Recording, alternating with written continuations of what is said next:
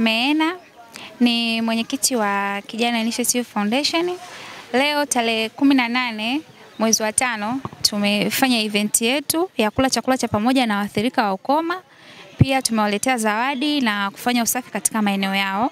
Kiukweli namshukuru Mungu kwa wadau mbalimbali ambao wametuchangia. Masanja mkandamizaji alituchangia mchele, Mama Alima alitusaidia katika upande wa mavazi na wengine wengi ambao wametoa fedha zao pamoja na mda wao. Kiukweli ndugu zetu hawana choo, uongo? Hawana choo. Mi naomba sisi sote ni binadamu, sote tuna haki ya kupata haki ya msingi. Kama wote tuna haki ya kupata haki ya msingi, tuna haki ya kwenda kujisaidia sehemu safi na salama. Mimi nipo karibu nao sana, niliambiwa choo chao kimeziba. Ukweli nilivyo Oh, na nimeenda hadi nimeshuhudia, nilikuwa hapa juzi, choo kimeziba. Nilitamani hata sisi Kijana Initiative Foundation kushirikiana na wadau mbalimbali tuwasaidie kuzibua hata choo.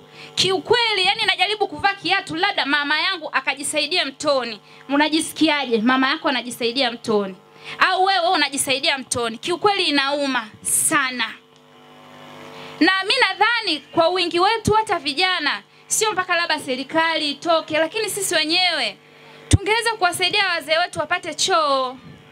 Kingine ambacho mi naomba kiongozi wangu unisaidie, wazee wetu wanaishi gizani. Pata picha wewe, kila siku wewe unaishi gizani. Jamani, ni haki kweli? Ni haki kweli? Kwa mi naomba kiongozi wangu tuwasaidie waweze kupata umeme, waweze na wenyewe kuenjoy maisha, maana hapa ninavyoona wana miaka mingi sana waweze kupata umeme. Kiongozi wangu, naomba ukaongee. Najua rais wetu ni rais wa wanyonge, uongo? Kama rais wa wanyonge, na wanyonge wenyewe ndio nyie, wapate umeme. Ombi lingine, wapate maji. Kiukweli, asilimia kubwa viungo havijakamilika. Sasa kama viungo havijakamilika, afu wanaenda kutafuta maji mbali, ni haki kweli? Si haki. Mimi najisikia uchungu kwa nafasi yangu, na mimi kama kijana, wanasema kijana ndo taifa kubwa, ni haki yangu kuwasemea wazee wangu. Nitakuwa mnafiki sana, tule ubwabwa tumalize tuondoke, nisizungumze kelo zenu. Tunaomba tusaidie wapate maji. Hawa ni wazee wetu, tunawapenda sana. Wanasema kwamba kilema sio ugonjwa, yani tu ni matokeo, na wana nguvu komi kiongozi wangu, mi naomba tuwasaidie wazee wetu wapate choo, hata tuchangishane wapate choo. Yani choo, kuna magonjwa mengi sana. Yani mi huwa nafikiria mtu nakuta hana mkono anachota, yani najiuliza anachota vipi maji. Tuwasaidie wapate choo, tuwasaidie wapate mwanga, wanakaa gizani. Mi nilio, siku niliwaletea mishumaa nishangaa, wakasema hey, leo tutalala kwenye mwanga kwa hiyo nikawaza kumbe uoga wanalala gizani. Kwa kweli mimi yangu ni hayo. Wazee wangu, mke wa Mheshimiwa Rais wa Jamhuri ya Muungano wa Tanzania alishafanya ziara hapa kwenye kituo cha wazee kama mnakumbuka, na siku ile Mheshimiwa mkuu wa mkoa alikuwepo. Kutokana na changamoto iliyokuwepo pale kwenye kambi ya wazee, Mheshimiwa mkuu wa mkoa alitoa maelekezo alitoa maelekezo ya kuhakikisha kwamba umeme unafika pale kwenye kituo, lakini alitoa maelekezo kwa halmashauri kuhakikisha kwamba maji yanafika kwenye kile kituo cha wazee. Sasa ni, ni jambo ambalo litakiwa kwamba ni, ni kukumbusha kufuatilia halmashauri tatizo liko wapi, kwa sababu maeneo mengine ya jirani maji yapo.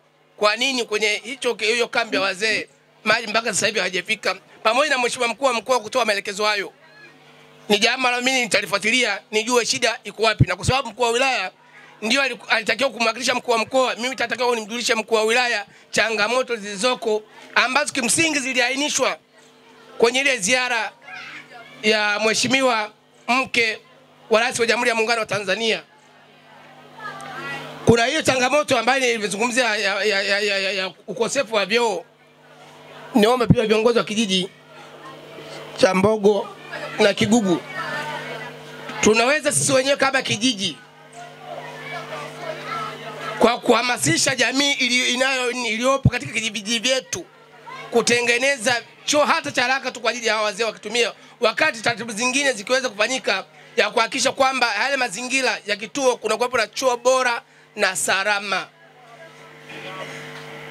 kwa sababu katika hali ya kawaida kama kukiwepo na ukosefu wa choo, kwa maana kwamba haya mazingira sio rafiki kwa binadamu. Kitu cha kwanza, nyumba yote wanasema kwamba haijakamilika, lazima iwe nini na choo, na hata makazi yote hawezi kukamilika kama choo hakipo. Kwa hiyo wakati tunafuatilia hilo swala ma- halmashauri, niombe viongozi wa vijiji tuone namna gani tunaweza tukasaidizana nguvu kazi ya kuhakikisha kwamba choo pale kinakuwepo kizuri. Na kuna siku nienda pale kwa choo sio rafiki, japo pia mkurugenzi alipewa maelekezo kupitia idara ya ustawi wa jamii waangalie uwezekano wa kuweza kujenga pale kichoo ambacho ni kizuri zaidi.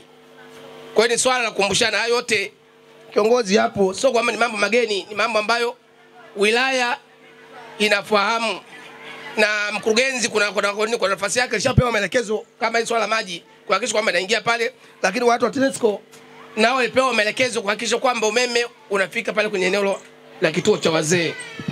Nawashukuru sana sana.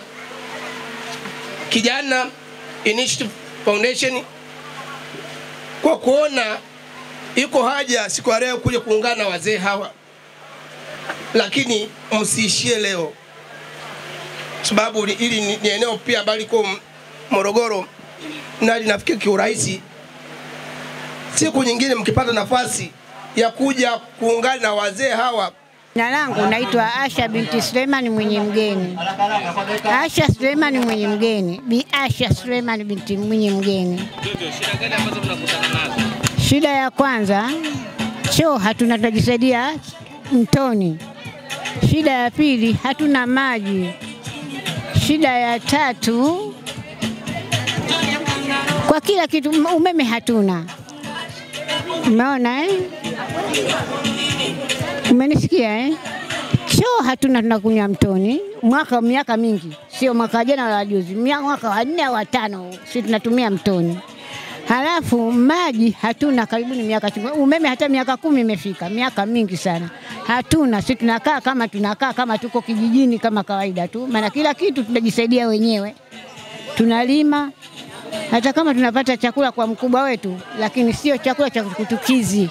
Si tunajipikia tunapewa kama kawaida kidogo tu, sio kingi. Mama, sio kingi kama huu. Una kidonda chini huko, kuja kuteka maji sijiwezi, ili naenda hivyo kimungumungu. Nikianguka haya, nikipata msaada, mtu akinisaidia, mabibi, ngoja tukupelekee, nashukuru. Hakuna basi, nalala hivyo hivyo. Shida yetu zaidi maji, umeme na choo.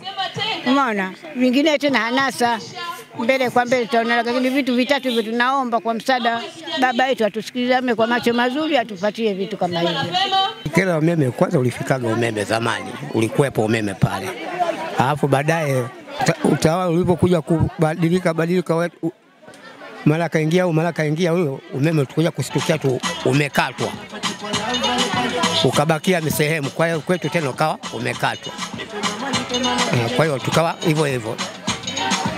Mimi naitwa Abdara John Mbena, ni mkazi wa makao haya ya wazee wasiojiweza. Changamoto, hatuna vyoo, hatuna maji safi na hatuna umeme, na hali zetu ndio kama hivi ninavyotuona. Hatuna uwezo wa kupata mafuta ya taa kila wakati. Tunaomba serikali itukumbuke kwa hilo.